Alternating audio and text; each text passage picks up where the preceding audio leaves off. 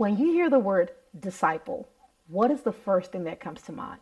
As a Christian, as a believer, or even just generally, when you hear the word disciple, what comes to mind? If the word follower is what comes to mind, yeah, you're in good company. That was me too. And while that is not necessarily a wrong answer or a wrong thing to think in regards to what the word disciple means, there is so much more to that word than we realize. Hello, my name is Toyosi Osinowo, and I'd like to welcome you back to this space. Today, I'm going to be talking to you guys about what it really means to be a disciple of Christ. Stay tuned.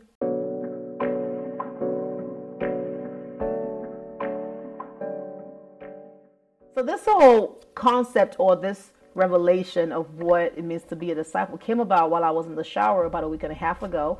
Um, as I shared with you guys in my previous video, I'm on my journey. Um, I'm being divinely aligned, and one of the things that God is taking me back to doing is to going back to understand the true essential meaning of discipleship, of what it means to be a disciple of Christ. Um, background, real quick. I got saved, or my first um, encounter with Christ was in May 2004. I did not fully surrender my life until December 2007. So if we have to even backtrack or we have to count the amount of years that I've been on this journey with God now, whether you choose to count it from 20, 2007 or 2004, it's been a, a, a hot minute, okay? From 2007 to 2022, that's been 15 years. If you want to count it back all the way to 2004, that's been a total of about 18 years. So this has been a hot minute. And the truth is, as much as it's been a long journey, one thing I don't think I ever really got the chance to do, I wouldn't say not do it all, but do well, is truly be discipled. Is truly come to a place of understanding what it truly means to be a disciple. And I truly believe that this is very essential for any believer that comes into the body of Christ. It's one thing for you to, you know, receive Christ as your Lord and Savior and come to that place of walking with Him, but it's another thing for you to now be taken to a place of actual discipleship versus just going into the world and proclaiming your faith. And I think that's where I kind of missed it. I would share more details on that again as I begin to share more of my Christian journey. But for now, as I said, I just been feeling like the Lord has been taking me back to that place, back to the middle, pretty much back to the basics. And I was in the shower, and the Holy Spirit dropped in my heart and said, Toyosi, what is a disciple? And of course, just as you guys probably said at the beginning of this video, my thought was, well, a disciple is a follower. And he's like, ah, yes, but is that all? Think of the word disciple. Disciple. Oh, ding, ding, ding. Discipline. Okay. And that captured my interest. So I found myself getting out the shower, went back into the Bible, went online to look at definitions because you guys know I'm big on that. And I began to find out what the meaning of the word disciple is and also what the word discipline is. And when I looked it up, this is what disciple is defined as. A disciple is defined as someone who studies. That's it. Someone who studies. It is actually derived from, I'm not sure if it's a Latin or Greek word, but the, the root word is discipulus, which means student or pupil. For my fellow Nigerians, you know that students back home are called pupils, not students, right? Did I say that right? Pupils, people. You get the drift. P U P I L. Okay. So to be a disciple means that you're a student. Okay, you're someone who studies. You're a student of something. And for discipline, the root word for discipline, dig this, is disciple. So again, if you're exposed to Queen's English, you would hear often when somebody is studying a particular degree or a particular um, focus, right? versus instead of asking, oh, what is your major? As we do in the States, they would ask you, what is your discipline? that's what they would ask back at home in Nigeria. That's what they would ask in, in Britain and other um, English speaking countries. What is your discipline? So again, what are you studying? What is your area of focus? What is your area, of, you know, of interest in studying? So pretty much while the word disciple is generally known as someone that is a follower, the definition is known as the word follower, the actual reality is there's there are so many underlying layers that actually um, defines what that word follower is or or leads to you arriving at that place of being a follower in your discipleship.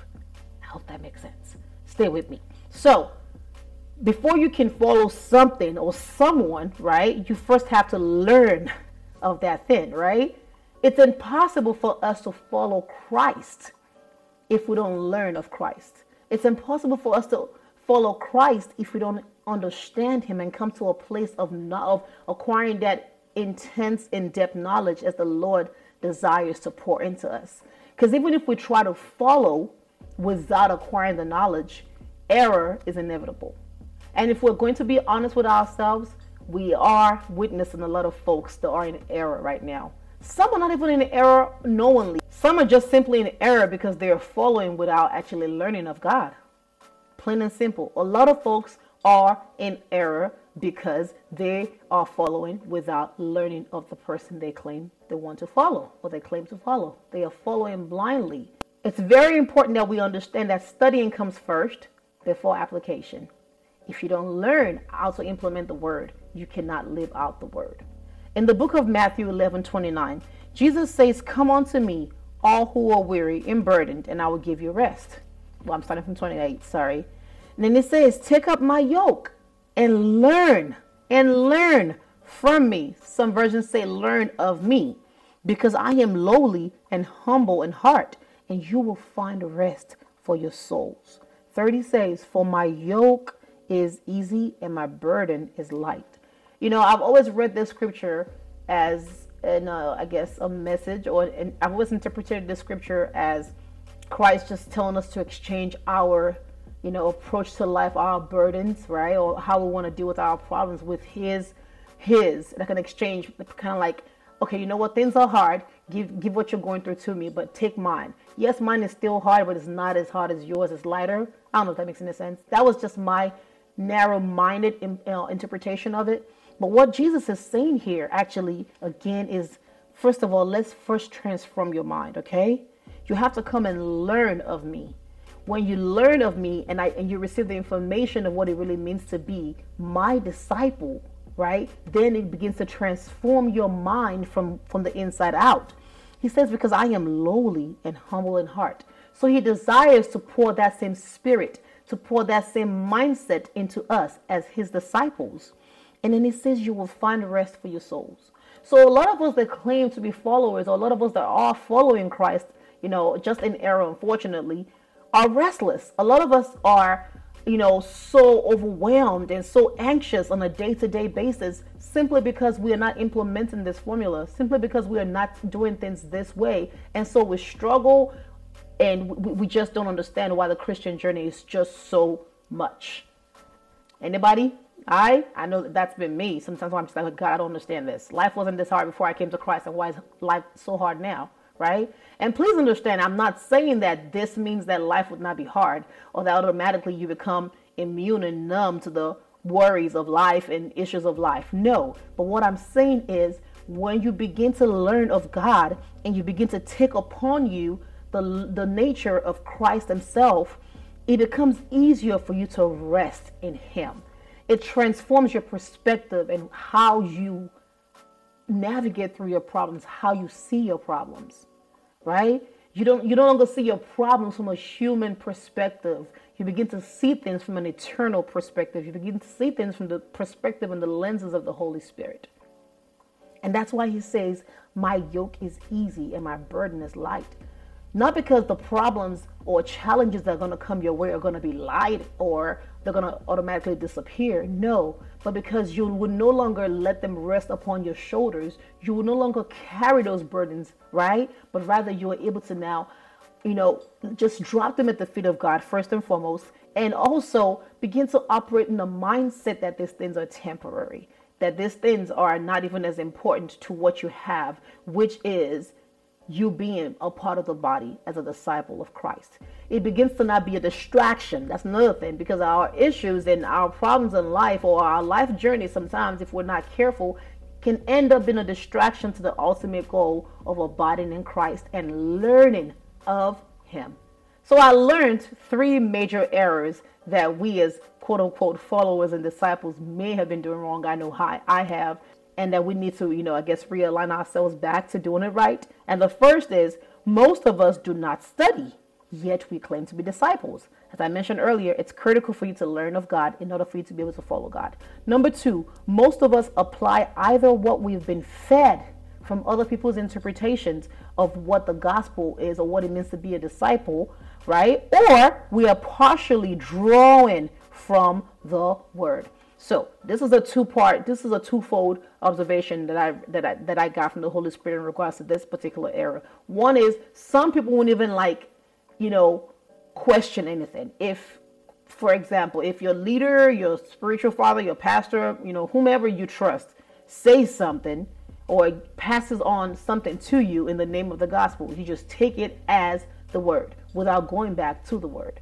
Again, this is not to say that you cannot be accountable to your leaders, but it's simply saying that you are still responsible for your salvation and for your walk, right? And unfortunately, because we have failed to really engage the word of God the way we should, we have actually allowed people to pass on man-made traditions on, into into our lives and into the church in the name of the faith, right? And we've actually accepted those as the heart of God, when in reality, no, those things didn't come from the heart of God. They came from the heart of man, which is prone to error. The other part to it is where you are partially going into the word and just drawing out what you want to draw out, right? Where you are reading the word to appeal to what you want to get from the word versus allowing the word to read you. And the third part of this is not necessarily even an error, it's just to sum up the dangers of this, right? This this practice is that this ultimately misrepresents what it means to be a disciple, first and foremost to ourselves and also to others that may even come along our way. And unfortunately, this just creates an endless vicious cycle within the body. And it's God's desire for us to break that cycle. we got to break the cycle. Cycles. That's how it keeps you in cycles. Thank you, Jonathan McReynolds, for that song. See, the enemy knows. He knows. He learns from your mistakes even when you don't. And that's how he keeps you in cycles.